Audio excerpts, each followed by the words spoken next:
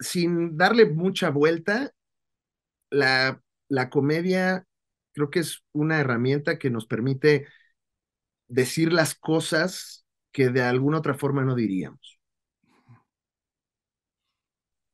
E, es, es un poco este mm, rompehielos del protocolo, de las convenciones, de lo que se dice, ¿no? Poniéndolo como en alguna manera muy poética, porque también es eh, el arte de entretenernos y cagarnos de risa y, y, burlarnos de las cosas, ¿no? Pero como si tuviera yo que ponerle una función un poco más poética, filosófica, creo que es eso, es, es, es la, es una manera de decir las cosas horribles, ¿no? Porque si te las digo así nada más, eh, pues creo que, que pues, te vas a sentir agredido. Sí, como, oye, ¿qué onda, güey? ¿no?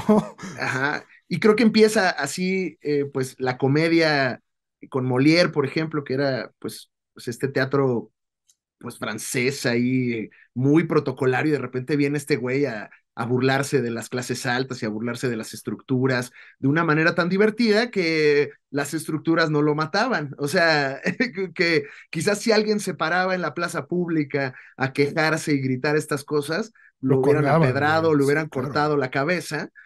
Y, y Molière era como, ay, mira qué emoción, ¿no? Este, ay, qué divertido, digo, tuvo también sus, sus, sus, sus situaciones, ¿no? Pero, eh, pues yo creo que sí, eso es la comedia, es una herramienta que hemos encontrado de una manera muy ingeniosa para decir lo que nadie dice o lo que los demás saben, pero no se atreven a decir, o, o no, simplemente para entretenernos.